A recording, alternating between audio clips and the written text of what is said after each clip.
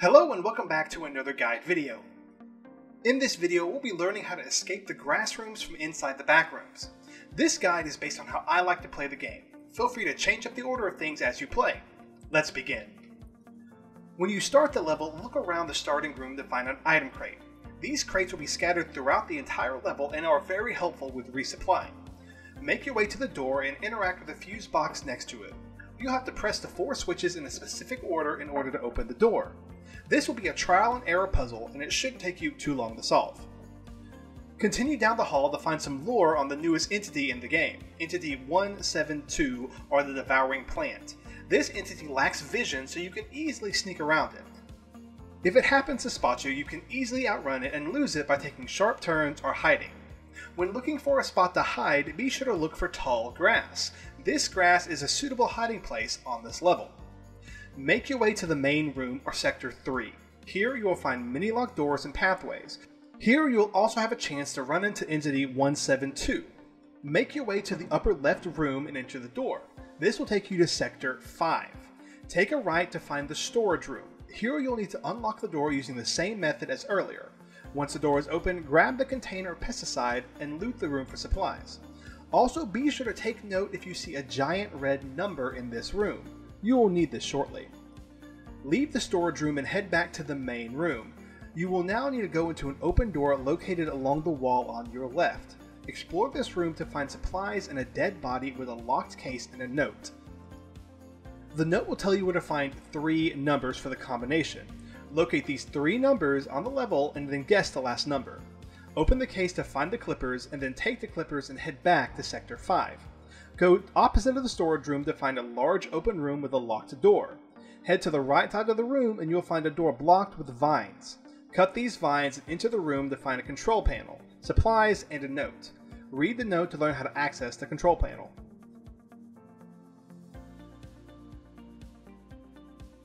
Now that we know how to access the control panel, we need to find a computer to do so. Head back to the main room and go through the final open door. This will lead you to the maze. First, you'll need to find the first of four chalices. Follow my path on screen now to find the wind chalice.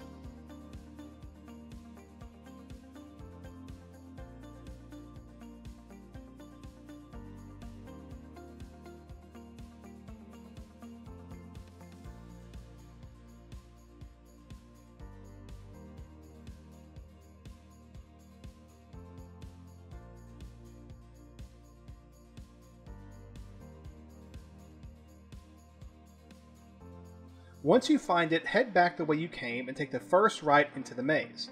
Follow my path to find the first of two maze exits. Once you get to the exit, open it with your woodcutter and pesticide.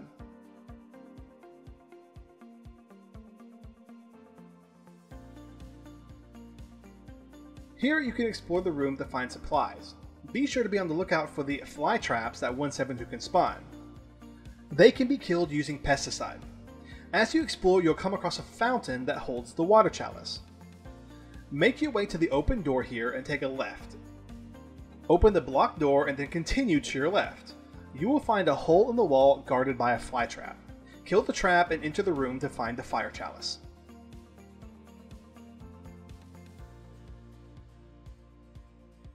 Leave the room and make your way past the door and take a right. This will take you to a room with dead bodies hanging and a computer.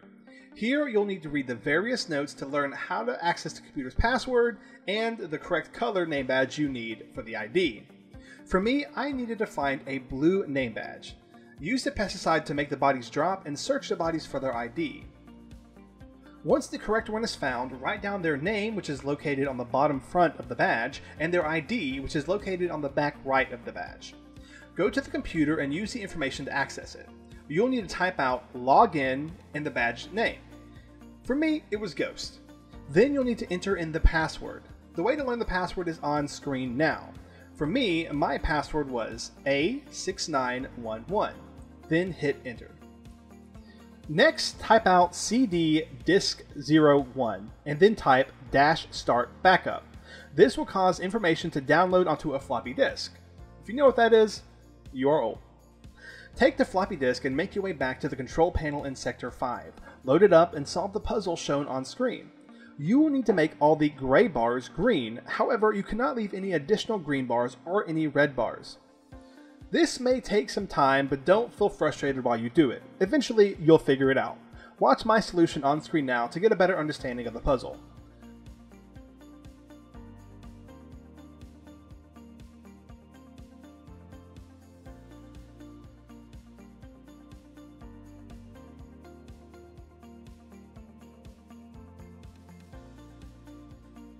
Once the puzzle is solved, the locked door will open.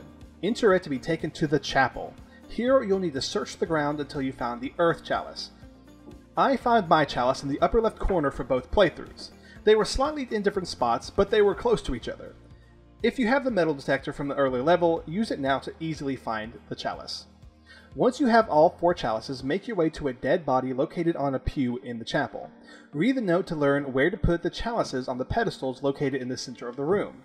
Once they're in their correct spots, a noise will sound, and you need to make your way to the second floor via the stairs near the wall.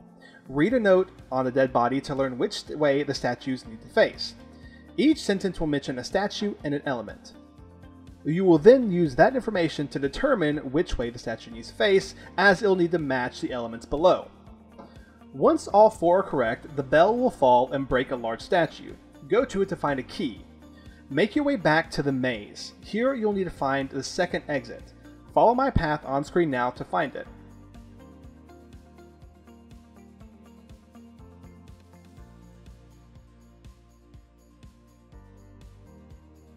Once you enter here, step on the switch to open up the library. Read the file on the floor to learn how much each colored book costs. Next, you'll need to make your way to the back of the room to find an empty shelf and a Roman numeral on the wall. If you do not know your Roman numerals, then check out this document on screen now. You will need to place the books on the shelf and make the amount equal to the number on the wall. My number was 8, so all I needed was one red book and one green book. Once you match the number, the bookcase will open and you can make your way to the exit. Congratulations, you just escaped the grass rooms from inside the back room. If you like this guide and want to see more, be sure to hit that like button and subscribe to the channel.